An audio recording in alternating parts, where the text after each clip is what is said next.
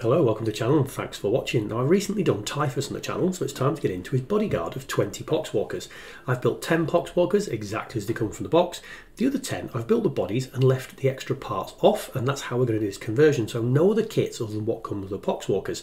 I'm going to mix together some sculpting material and stuff like that. So I'm taking milliput and green stuff, making them up and then mixing them together. You have good balance between the two. If you don't have both, I would just use green stuff for what we're going to do.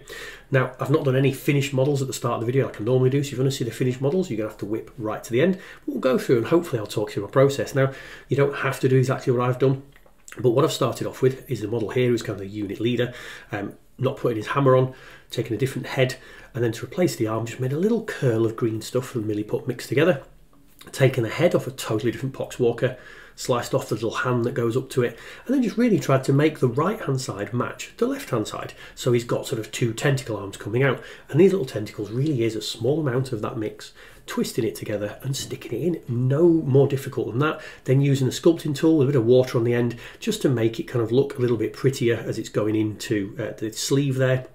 And then with the head, I've mounted the head on by putting a blob of green stuff in there because the original head was quite sunken into the kind of chest area. So I've raised it out of there. Simple conversions, but will make the models look different. And that was really the whole point of this. I just wanted the whole set to look radically different. Now the next model's a much easier conversion because this is now, I've taken the head from this to use on the previous one. So I'm just clippering down the neck area using a bit of a knife to file it down and just gluing a different head on where that original hand goes, there's like a little nub you can see there where that extra part we're not using anymore. And I'm just covering that with two little balls of the green stuff and Milliput mix to then make it look all kind of push pustuly and nurgly. And that's a great thing about doing this kind of conversion. Because it's nurgle, because they're meant to be a bit gross and grim, it doesn't really matter if you mess up because you can just cover it either at this stage with a couple of little balls of um, the Milliput green stuff mix and make it look pustuled, or at the end, if you've still got a mistake in there, you can cover it with um, Nurgle's rot to kind of mess up, you know, cover up any mess ups you do. And I've really worked through this set like this, looking at the next model, thinking, hmm, what am I going to do? And then moving on. You can see here with this one, I'm not putting on the entire left shoulder, and I'm just making a nice tentacle arm. So taking a long little sausage of the uh, mix, twirling it together to make an interesting kind of um, pattern around the arm. And then I originally was going to just have it curled up against the body and thought, hang on, he's got a gas mask on that I was going to clip her off, but I've done it so that it looks like he's almost holding his gas mask to carry it. So that's it, no real plan as I started, just looking at the models, taking the other parts I had from the other bits and the green stuff, mix and then putting it on. So into his shoulder there, where obviously the part that was there previously was going to fill up a lot of it, pushing some of that green stuff in, taking some of it away, and again sculpting it around to make it look kind of nurgly. Now I was going to put a ball of uh, the Milliput green stuff mix on here, but it was quite sticky still, so it wasn't going to come off my finger. Now I've got a lot of uh, balls of Milliput and green stuff and things that I've made historically. Every time I've got some left, I'll either drop some into a mould or I'll just roll some little balls here. One of the best things you can do for any Nurgle sort of conversion is to make little balls of Milliput green stuff, let them harden, and you can use them later on. Now the next model, a really, really simple head swap. So these, some of these conversions are far more simple than others. Some I'm going into a bit more depth. So real simple head swap, chop down the mounting point that that head comes on, give it you know a pair of clippers with a bit of a hobby knife, and then plenty of glue, and that will melt both sides of it and again merge that head into it. So very, very simple, some of these conversions, some of them a little bit more uh, difficult. And mostly that was geared around whether the model itself had its arms off the body. I did consider with this one chopping off the kind of wrench that it's carrying, but again I wanted to stick to just what was in the kit, so I left it fairly simple. Now looking at the next model, I decided I wanted to separate out this kind of two-pronged bug alien kind of uh, arm, and I wanted to go on to the um, the, the, character that looks a bit more like he's in a, some sort of hazmat suit. That meant clipping off the entirety of the right arm. And again, originally I was going to use his right arm and knife on something else. Didn't end up doing that. So that's a spare part for somewhere else. And then the bug arm, getting it onto the side. Now, this next piece, there's two models that come in the Poxwalker kit with quite a large proportion of their torso uh, in one piece. But I thought, right, let's take the clippers to it. Let's hack a, this, uh, this off and just took a section really of the top part of this um, Poxwalker, cut the weapon off, give it a trim down and again that's quite a dramatic change so needed a fairly big blob of the Milliput and green stuff mix to push that torso into. Now actually this is the model I think in the end I quite end up liking the most out of all of them.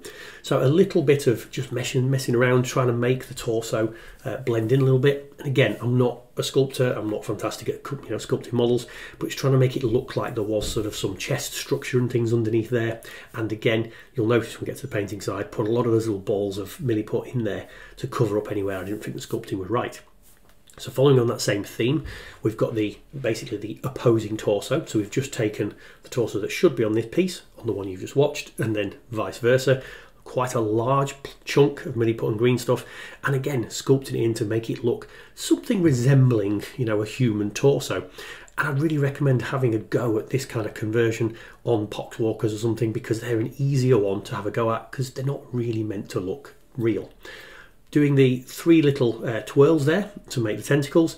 You'll see one I've twisted quite heavily to give a bit of texture and striations around it, one a little bit of a twist, and one more of a plain kind of sausage at the end. The only thing I would say is make it thick at one end, thin at the other, use a bit of water to smooth it down to try and get your thumb marks out of it. And again, some pre-made um, little balls of green stuff you can see there just pushing into the shoulder. You will notice if you notice carefully at the end figure, it ends up with a smaller ball of green stuff on the shoulder. I thought this one was too large, so later on, before the stuff had all set, I whipped it out.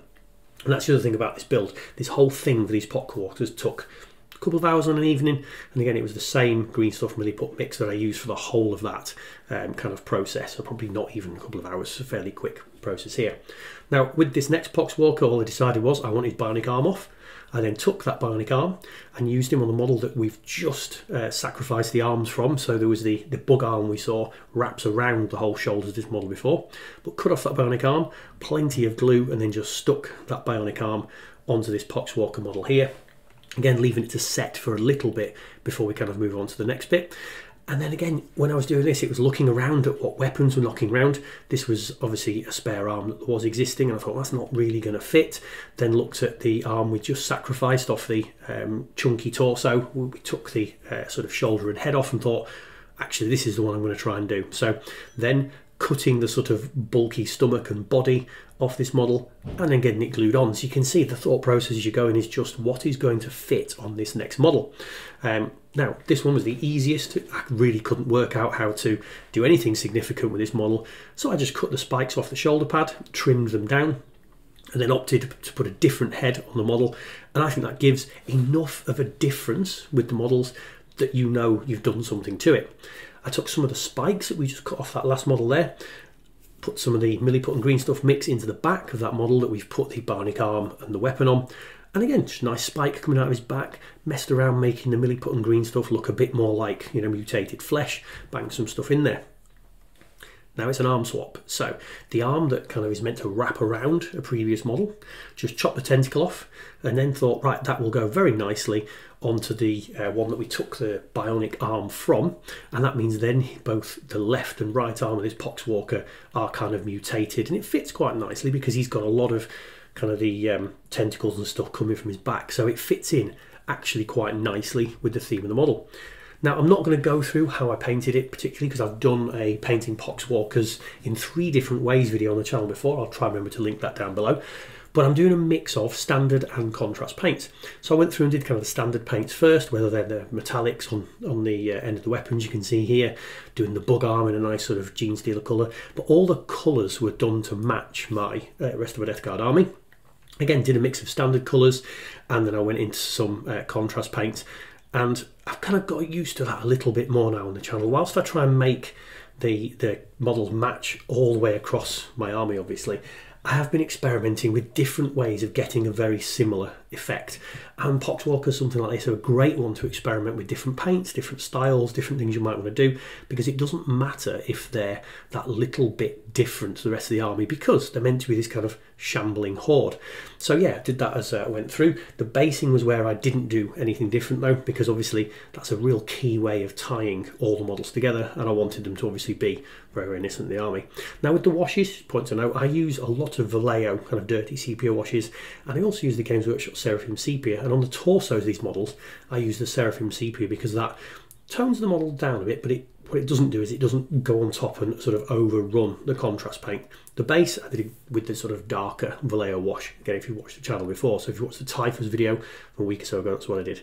Then once all the wash was dry, a few little highlight layers, and here we see the finished models. So original model on the right, um, converted model on the left. So these first couple are fairly simple, just head swaps, nothing too drastic. Then here a head and a hand swap, but again, just a little bit of variety. If I wanted massive variety, I could have painted the cloth on them different, but I didn't go that far. So here we have an arm swap and a head swap fairly nice and simple, they're fairly close. Camera's not pulling the colours out very well. I think I need to do an upgrade or something different. Here we get a bit more serious, so this is an arm swap and a head swap. Getting a bit more serious here, so two very different arms on the left model, and then all that green stuff work that we had to do to make the skin match together in the holes that was left, so I think that worked quite well. Um, added some tentacles on the right hand arm here, and a different head. So again, not radical, but I think a bit more kind of use of uh, green stuff there. Now we're getting a bit more, um, it doesn't look obviously different, but a tentacle arm on the left and again some pustules and stuff moulded into the shoulders, um, but I think quite nicely different. And again, if you were to paint them different, it would stand out more. These are quite a radical difference, so uh, same set of legs but a totally different top torso, some nice tentacles in the arms and some pustule bits, so we're getting a bit more effort and work put in. But hopefully as you've seen, none of this was actually too challenging, and here's probably my favourite conversion. They actually look a bit more like twin brothers that have uh, mutated in a slightly different way, but a lot of green stuff work and stuff in there. So yeah, there we go, that's my converted Poxwalker unit. Hope you liked that. If you did, like, comment, subscribe, and I'll see you in another video.